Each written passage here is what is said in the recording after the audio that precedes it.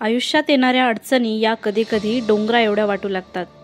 आलेल्या संकटांना पूर्ण ताकदीनिशी सामोरे न जाता आता यातून मार्ग निघणारच नाही. आपण हरलोय सर्व काही संपलंय अशा नकार घंटा मनामध्ये वाजू लागतात.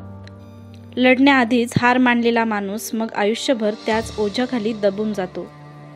काही जण मात्र वाटेत आलेल्या अडचणींना सामोरे जातात दोन हात करतात आणि जिंकतातही. अशीच एक कहाणी आहे बिहारच्या दहा वर्षीय सीमाची. एका अपघातानंतर सीमाचा एक पाय कापावा लागला होता.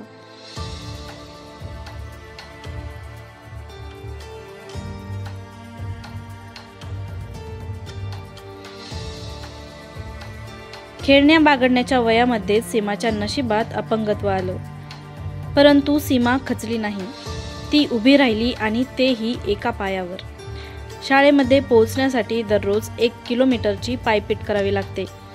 आपल्याला तर एकच पाय आहे कसं जायचं शाळेत? असा प्रश्न सीमाला नक्कीच पडला असेल.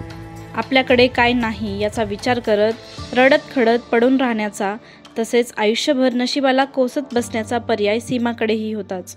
मात्र सीमाने लढण्याचं ठरवलं. सीमा एका पायावर उभी राहिली आणि नुसती उभीच नाही तर चालू देखील लागली. शाळेमध्ये पोहोचण्यासाठी रोज एक किलोमीटरची पायपीट एका पायाच्या भरोश्यावर सीमा करू लागली. परिस्थितीला शरण न जाता दोन हात करणाऱ्या सीमाचा व्हिडिओ काही दिवसांपासून सोशल मीडियावर व्हायरल झालाय. देशभरातून सीमासाठी मदतीचा ओघ सुरू आहे. लवकरच सीमा तिच्या दोन पायावर चालू लागेल असं मदतीचा हात पुढे करणाऱ्या सोनू सूदनं देखील म्हटलंय.